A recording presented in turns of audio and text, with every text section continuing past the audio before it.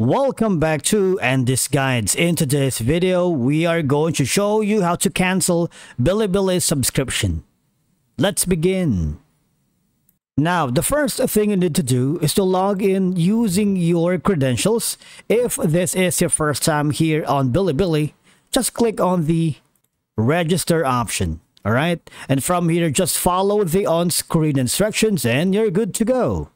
Now, canceling a Bilibili TV subscription or subscription to any device or service can be a decision based on various factors depending on your circumstances and needs. Of course, if the subscription fee is no longer affordable, or if you found that you are not using the subscription enough to justify the cost, canceling can help save money, right?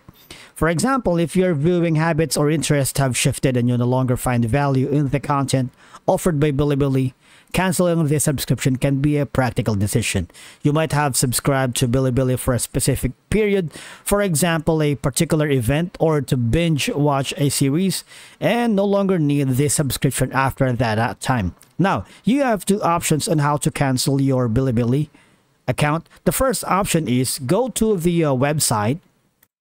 Okay, so once you are here, if you subscribe to the premium account, which is the Bilibili subscription, all right?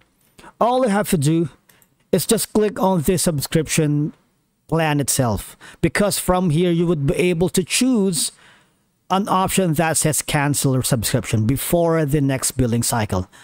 Apparently i don't have the uh, Bilibili cycle as of the moment so I can't cancel any subscription. But if you do have, it's very easy because all you have to do is just go here at the subscription.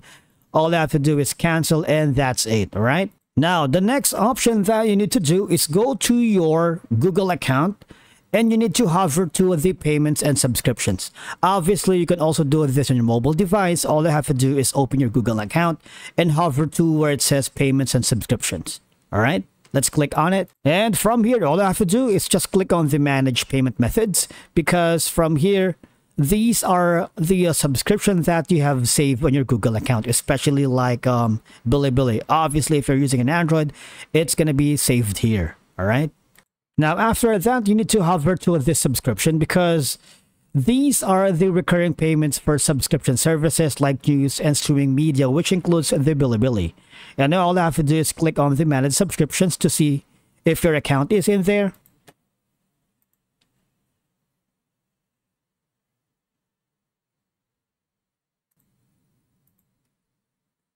As you can see, I don't have any subscription, but if you do have the Bilibili under here, all I have to do is click on cancel. It's a very straightforward and easy process because you just have to follow the on-screen instructions.